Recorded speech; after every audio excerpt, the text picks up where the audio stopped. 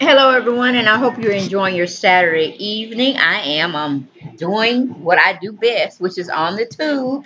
I've been out earlier with my dogs, taking them to the vet, making sure they're okay with their health and all of that stuff. Went out for lunch with my mom, and now I'm at home washing clothes and doing other things such as YouTube videos. Okay, but enough of me. I hope you are doing well and you're kicking back and just relaxing or having fun with the family. But I want to say thank you, thank you, thank you for subscribing to my channel and coming over and seeing what I have put out as a video. And hopefully you're enjoying it. Okay? All of those pleasantries are out the way. Thank you, thank you, thank you for my new subscribers, my old subscribers, and my subscribers that are on the fence. Okay? Stop being on the fence, jump off the fence, and come on over to the Family Affair, Utah, excuse me, YouTube style edition. All right, and that's Deb Shanel's 48th World. But why don't we get right on into those uh, salacious story I got from, let's see, who was it from? U.S. Magazine or Us Weekly Magazine. All right, they put out a nice story on Kenya Moore and Marlo Hampton. And again, Kenya is in the forefront trying to call the shots. All right, the uh, journalist was over there at U.S. Magazine, her name is Sarah Hearon, and she put out this article on the two women of Real Housewives of Atlanta. One is a co-star, uh, a full-time peach holder, and the other one is a friend of a friend, cast member. Okay, but let's get on into the story. She titles it Kenya Moore calls for new cast members on the Real Housewives of Atlanta after declaring she bored she's bored of Marlo Hampton. Now, who does that? Kenya, you just got back on the show, baby. And now you want to say who you want there, who you don't want there. Come on, girl. Please. Everybody need employment at this time. Stop shaking the tree till it just runs dry and it's just you up there. Now, you know we don't want to just see you up there. Okay? You can hold a show, but you can't hold it all by yourself. Now, we need other actors and players in the game, okay? Especially on Real Housewives of Atlanta. You see, it doesn't say Kenya Moore's Real Housewives of Atlanta or Housewife of Atlanta. It says wives. So that means we need other participants. So stop it, girl. Stop it now. But we're going into the article. It says Kenya Moore is ready for new faces in Atlanta. The Bravo star who returns to the Real Housewives of Atlanta in the upcoming 12th season, threw shade at Marlo Hampton during an exclusive interview with Us Weekly. Okay, biggest Real Housewives feud ever. I'm just kind of bored with it. Yeah, I think we need something new. Kenya 48 told US at Baby's Quest Let's Make More Babies fundraiser gala on Monday, October 21st. I think we need housewives or friends of the show that bring something new. And we've seen her for eight or nine seasons. I'm kind of just over it. Sidebar. Okay. Flag on play. Kenya, you just set out one season and now you're trying to come uh, change the whole cast and the friend members of the cast. Come on, Kenya, you're doing too much. You just got back.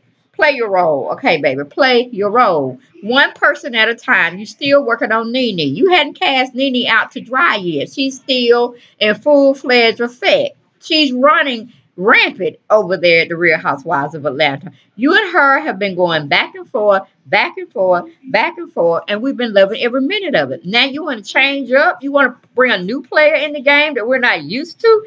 Come on, girl. Think about it, Cynthia. I mean, not Cynthia. I'm sorry. Um, Kenya please think about it. I told Nene last uh, video, sit, think, and react. So I'm telling you the same thing. Sit your butt down. Think about what you're doing and what you're saying.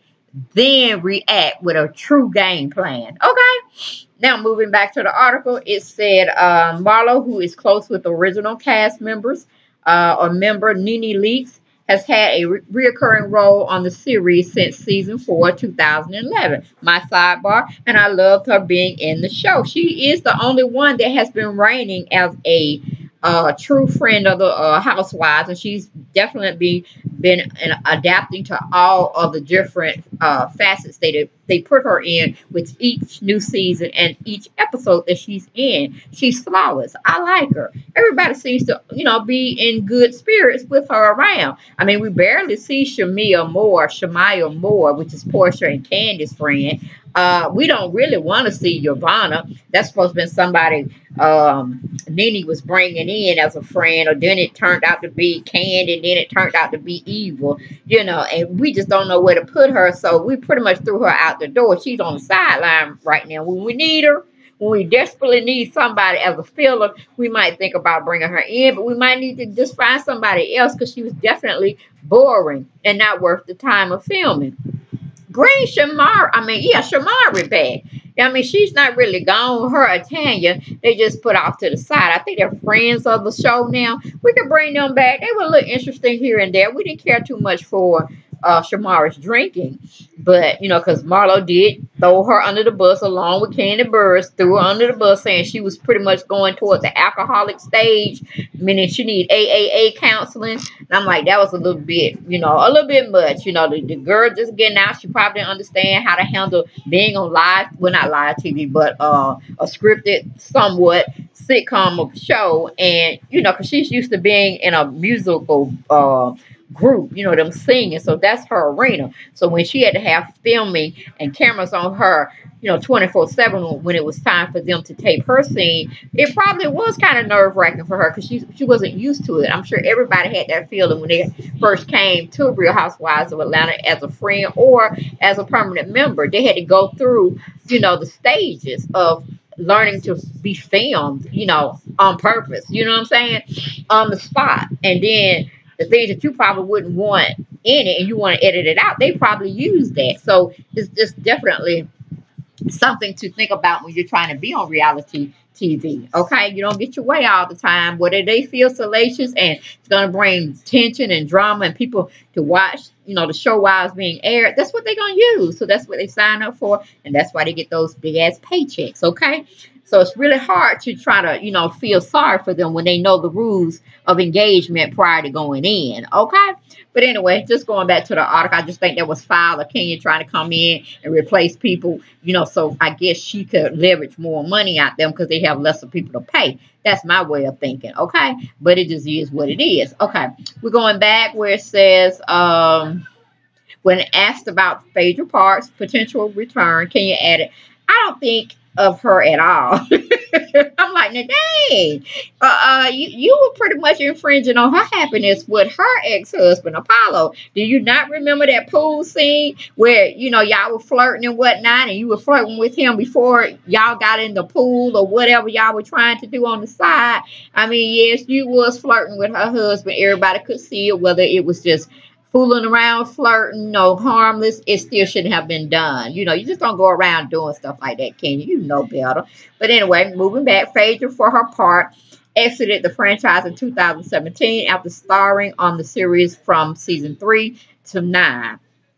Uh, says seven OMG moments from Real Housewives of Atlanta season 12 trailer. Kenya, meanwhile, is back for season 12 after taking off a season. The former Miss USA was a full-time cast member from seasons 5 through 10. Fans of Real Housewives of Atlanta will see Kenya's relationship woes with her estranged husband, Marc Daly, play out on the reality series. The pair who tied the knot in 2017 announced their split last month.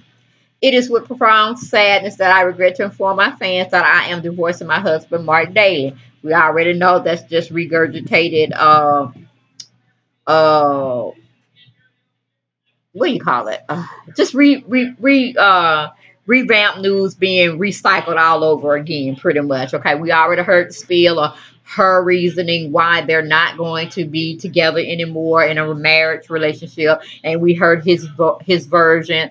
And quite frankly, I'm tired of hearing about it because they still are going to be in the mix, whether they like it or not. Okay, she's uh, still giving her accolades, so he's a good father. She plans for them to both definitely uh, pro, pro uh, positive um, co-parent together and he's going to be great she's going to be great and the baby's going to be great okay uh, towards the end of it, um, the article reads, according to a source, Mark was unfaithful during their two-year marriage. She walked away from her career for him, and he had no problem with that and no problem disrespecting her, the source said earlier this month. It goes on to say that two, uh, the twosome share together baby Brooklyn. She's almost a year now. She told us on Monday that it's difficult to balance the reality series and motherhood. I'm a new mom, so it's difficult, but I do have some help. I just think that you have to take care of yourself first because if you're no good to yourself, then you're no good to anyone else that you're taking care of, especially a baby and a family, she explained. No balance, no balancing has been something that I've been trying to perfect, but I think that, you know, sleeping and being on a schedule, sleeping is key taking care of yourself in terms of exercising, eating well, and then that way you can have time for your baby and your family. Okay, and I totally agree with her. Totally, totally agree. Um,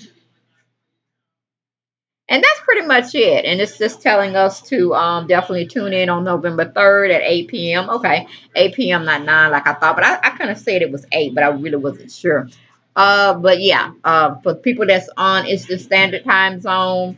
It airs on Sunday, November the 3rd at 8 p.m. So make sure you're tuning in to get all the action-packed uh, episode that they're going to give us in that first uh, episode for season 12. Because, you know, it's going to be lit. Probably the first three, and it's going to get boring. And then after they take a little break before they go into the last couple of scenes for season 12 and the reunion, you know, then they're going to be back on and popping.